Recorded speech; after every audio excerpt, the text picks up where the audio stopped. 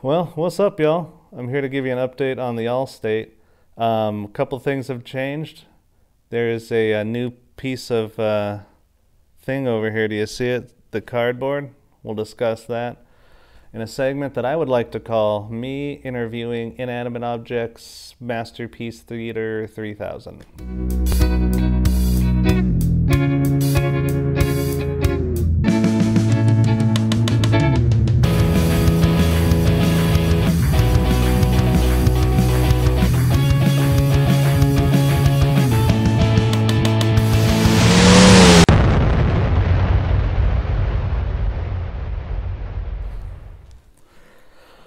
Well, I'd like to give you an update. Um, I've got about a few hundred miles. I did a you know a few tanks ish of gas, three quarters of a tank of gas, and it's really starting to come into its own. Um, yeah, it's starting to run really good. My initial my initial uh, review on it so far, I guess we'll call it my impressions, if you will, are actually pretty positive.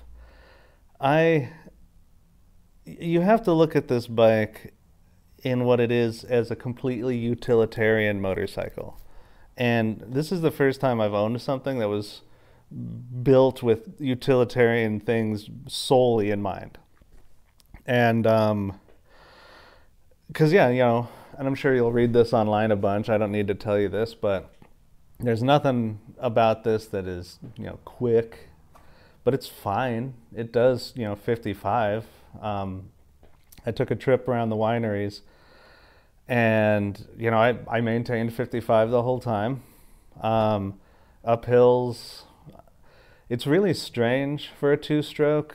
Um, and talking to some people who have been around these bikes a lot, having that big torque curve is really crazy. Um, you know, it's it's all low end with this bike, and uh, you get to a certain point where it just kind of doesn't you know doesn't matter you know you can keep gassing it's just run out of air. It's used it all up real early which is and i'm not going to say i have a ton of experience with two strokes but i'm used to them having that big power band you know three four thousand rpms up there. And this is just all down low. It just starts right from the start and then just you can feel it just fall off.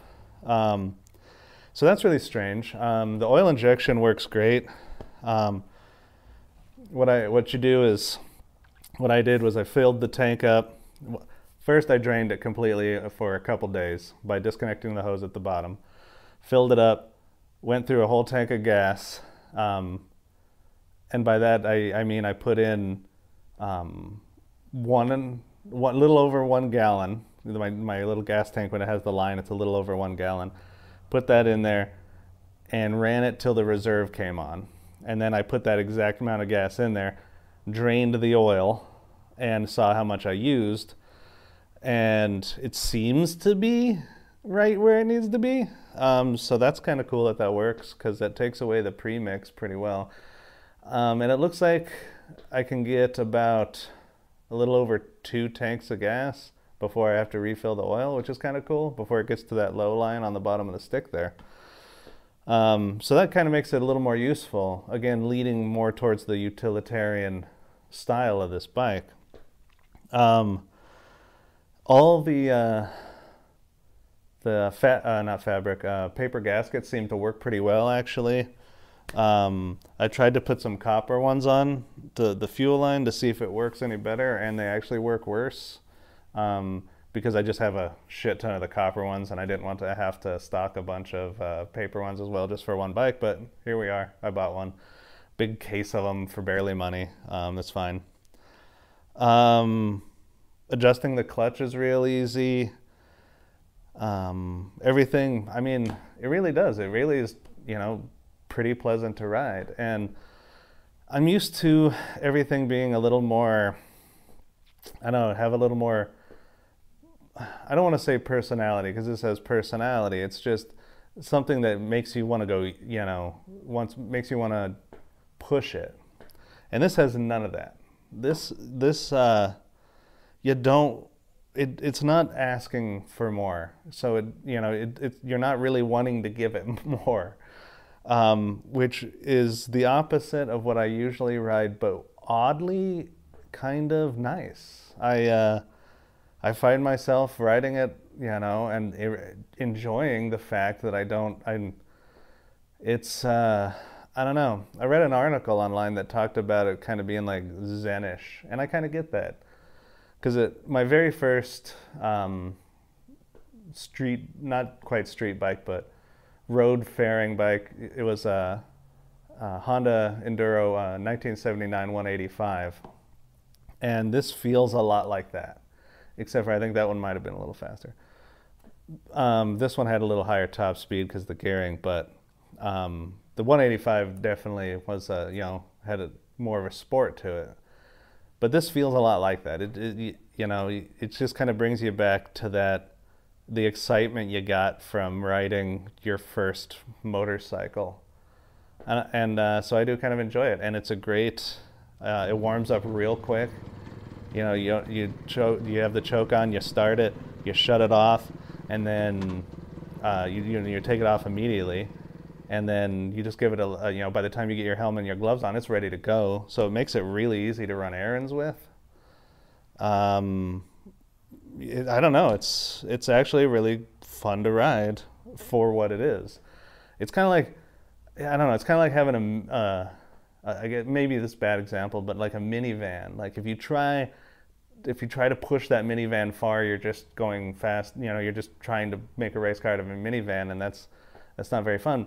But if you if you use the minivan for what it's for, you can have a really good time. You know, fill it full of plywood or kids or whatever the hell you know you do with it and if you use it for what it's for you have a good time and that's the way this is if you if you know i have the faster bikes if i want to go faster but you can just kind of plug along with this and it works real well um, the charging system works great um, you know i got the the pump up there but yeah so the bad is you know i i have no idea how long this sat um, you know, who knows by the time I've got this. So the weird part, well, the thing that happens to anything that sits for a while and then you start driving it seals gaskets, right? So that's what's going on here. Getting some wet up here. We're getting uh, a lot coming out of the seal for the um, the drive the drive uh, the drive sprocket up here.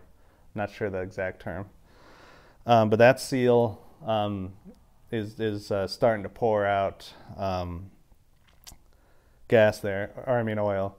And then on the other side, the drain plug. It wasn't the original drain plug, and I didn't like it. I, it you could tell someone just kind of forced a, a bolt in there and just kind of threaded it on the go. It didn't quite hold right.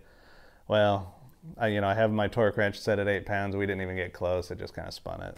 So I ended up tapping it and then putting in a, uh, 3 eighths. Um, so we did that. So now it's, you know, the drain plug's a little bigger. What, I mean, literally, uh, you know, who cares? And then, um, but I did buy some pretty cool parts. So talking to uh, Motor West, mm, excuse me, talking to Motor West and uh, I always forget. I want always want to say Michigan, but I think it's Milwaukee. Um, he was talking about putting uh, a 16th tooth sprocket on there to get it to that top speed. And out here um, in California, I'm, I'm originally from Wyoming. So, um, you know, out here in California, if whatever the speed limit is, you double it. Or not double it, you add 20. So if it's 55, you know, you have you, you everybody's doing 75. So if you're doing 55 and a 55, especially on a small bike, you're going to get killed out there. So I need to get this thing to 65 so I can take it on a little bit longer adventures. So I bought the 16 tooth sprocket, I bought the tool to remove it, and I got us a new chain.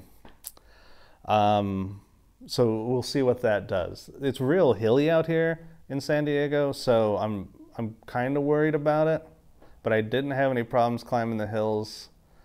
And uh, Motor West seems to uh, say that, you know, because the way the torque is on this, that you should be fine. And he said there's people at the 17 tooth that have no problem climbing hills. So I'm gonna give it a whirl. Um, it's not like I'm throwing the 15 away. If I hit it, I'll put it back on.